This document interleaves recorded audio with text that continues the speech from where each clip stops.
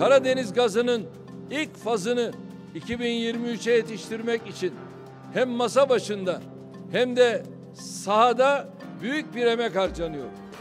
Projede elbette kendi içinde doğal ve teknik zorluklar içeriyor.